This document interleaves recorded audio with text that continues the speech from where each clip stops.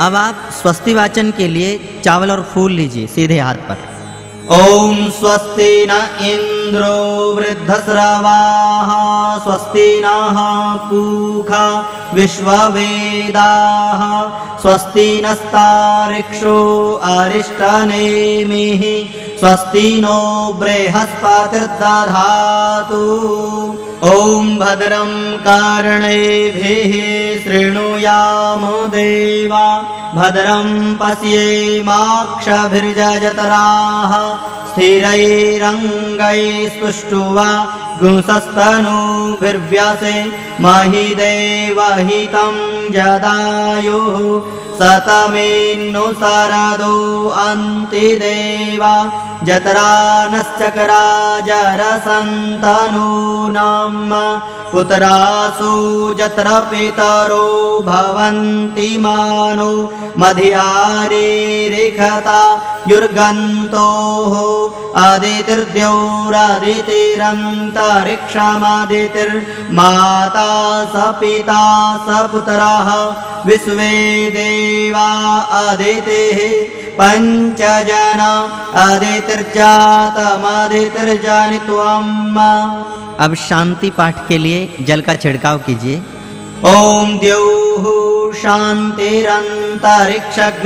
शान्तिः पृथिवी शान्तिरापः शान्तिरोखधयः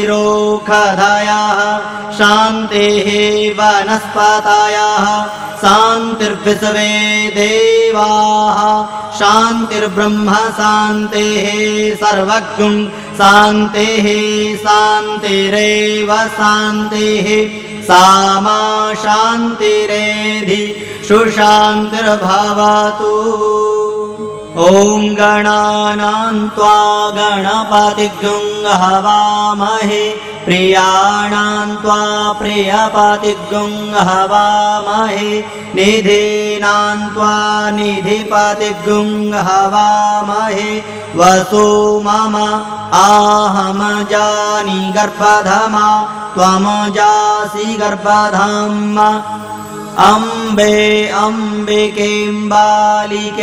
न मानयति कश्चनः सशस्त्यस्वकाः सुभद्रिकाम् काम्पेलवासिनीम्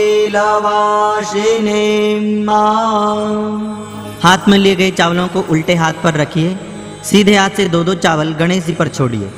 ॐ लक्ष्मीनारायणाभ्यां नमः ॐ उमामहेश्वराभ्यां नमः ॐ वाणी हिरण्यगर्भाभ्यां नमः ॐ सचिपुरन्दराभ्यां नमः ॐ मातापितृचरणकमलेभ्यो नमः ॐ इष्टदेवताभ्यो नमः ॐ कुलदेवताभ्यो नमः ॐ ग्रामदेवताभ्यो नमः ॐ स्थानदेवताभ्यो नमः ॐ वास्तुदेवताभ्यो नमः ॐ सर्वेभ्यो देवेभ्यो नमः ॐ सर्वेभ्यो ब्राह्मणेभ्यो नमः ॐ श्रीमन्महागणाधिपतये नमः